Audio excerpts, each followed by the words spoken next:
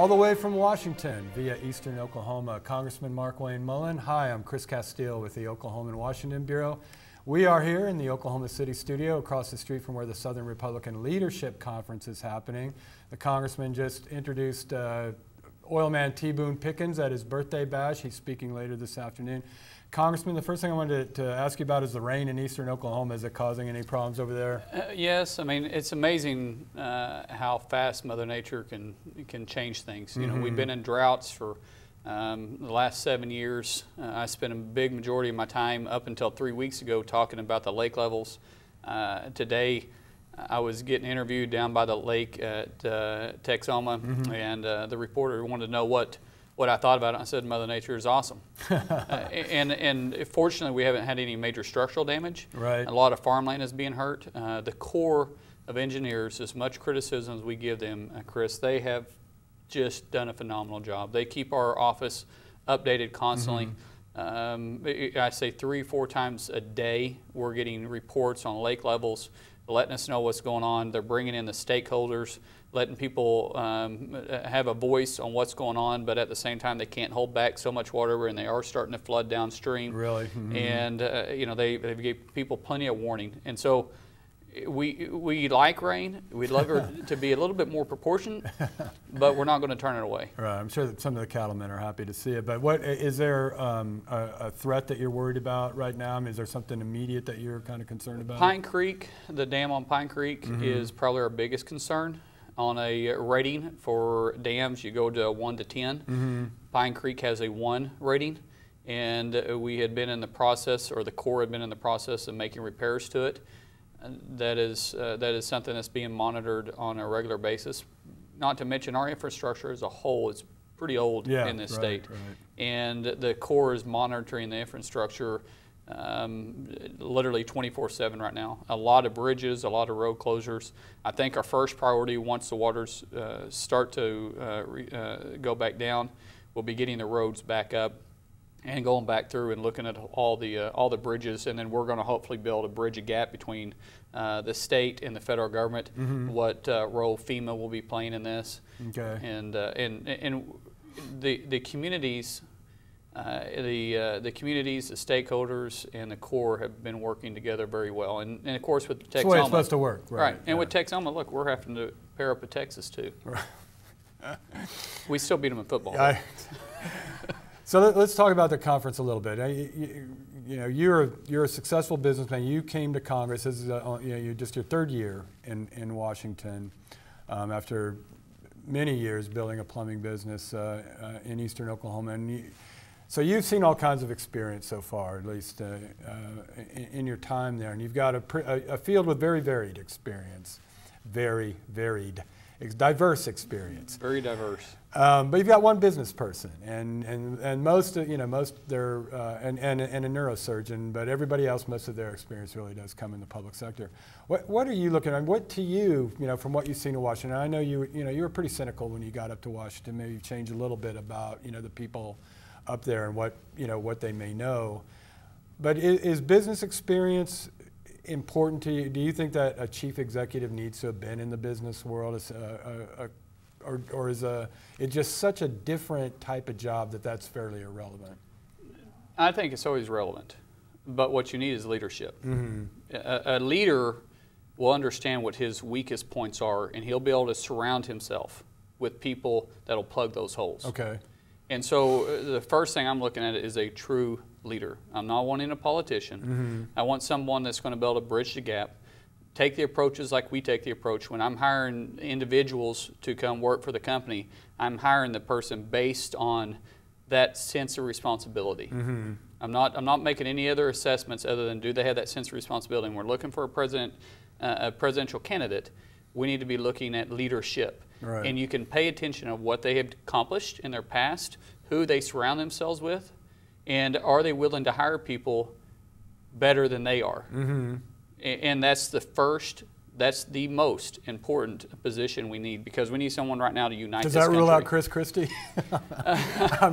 well, he obviously need, had a couple of people getting, yeah, getting bad trouble. Uh, right. We need people that are. Mm. Look, you have people around you. You're going to have trouble. You, uh-huh. you can't control the individual. Right. You can hire them, but they still make their own decisions.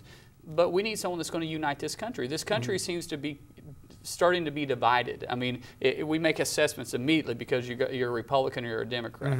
You know, we're starting to make assessments based on all types of things about us personally.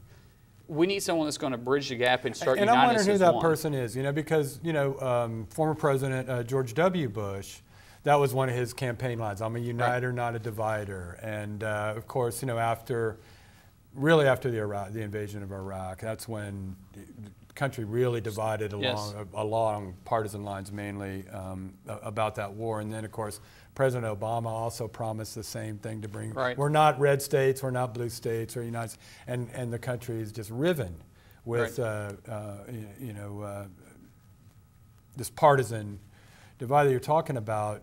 So it's, it seems like it's easy to say, and everybody's going to promise that, but so hard to deliver. And it, it almost seems, and not to be cynical about it, it just seems like really, is there someone that can you know unite? We know that the country, and I don't think either one of us would disagree with this, Mm-hmm. the country is more divided today than it was when this president took office. Mm-hmm. So we have building blocks to build up on. Right. We can't tear it down too much farther. If we Mm-hmm. do, this country is going to be in trouble. So when we're looking for that individual, we just want to understand have they built something? Have they actually united people before? Or are they Mm-hmm. going to say it? Right. Words are cheap.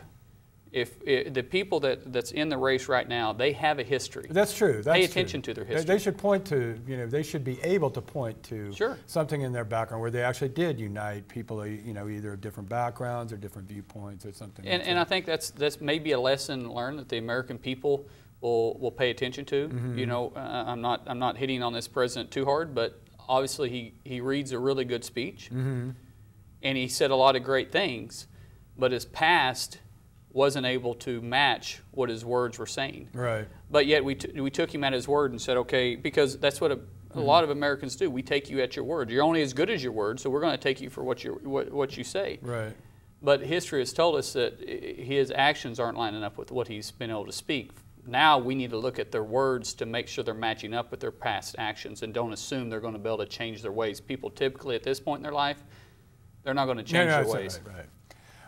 We were talking before before we came on about. I was telling you that uh, the, the strongest reaction that I've seen in the first day and a half of this conference has been to foreign policy issues uh, when the candidates talk about Israel, when they talk about ISIS and Iran. And I was just wondering, I mean, do you think, is that because of this particular point in time? Is that because of this particular audience? Or do you, do you feel like this really will be a presidential election about foreign policy?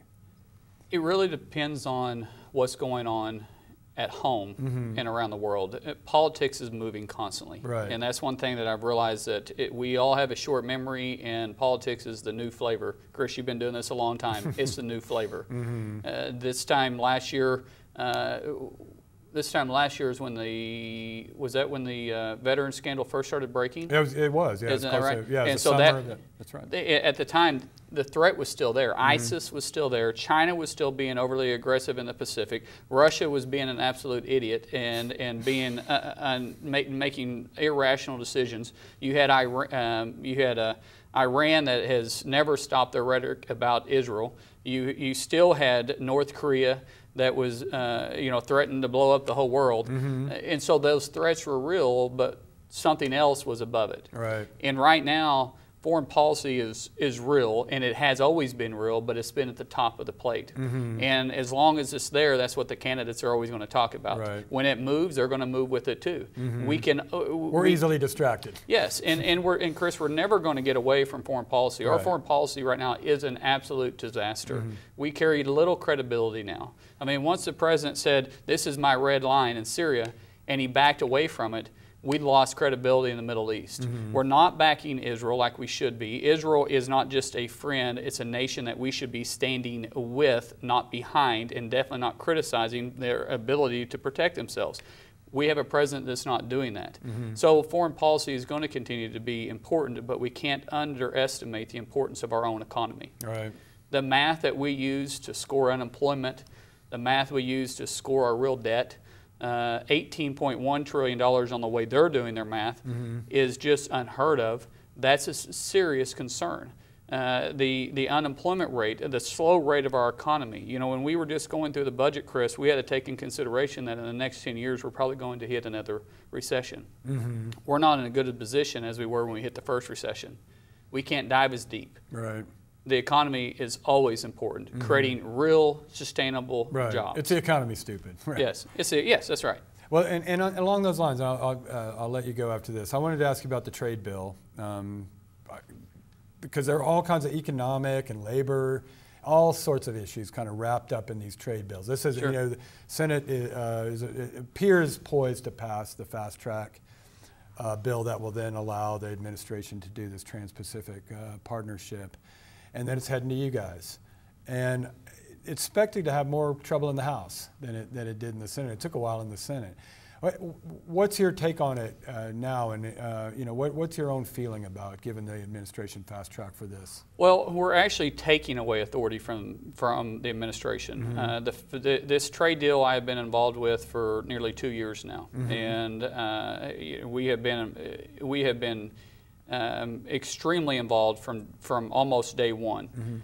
The misunderstanding by saying fast track, by giving the administration more authority, that's a misnomer. What's actually happening is right now the way the president can already negotiate trade deals. Look at what he did with Cuba. Right. Uh, he can already sit down and negotiate them, but what happens is countries don't want to sit down and negotiate with us because when it comes back after the president gets a deal with whatever country, then it comes back and it can get laid down with all types of amendments. I mean, it can have 535 amendments on it, Right. and it never ends, and then he has to take it back to the to the to the uh, country, and that's why we've been in some trade negotiations for 12 years.